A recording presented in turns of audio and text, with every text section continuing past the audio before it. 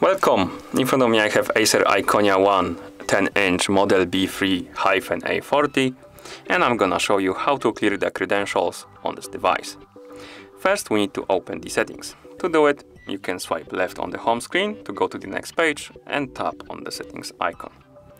Once in settings, let's scroll down and select the option called, uh, my bad, in settings select the option called security. In the security options, scroll down and below the uh, install from SD card we have option called clear credentials. Tap on it then tap OK to confirm.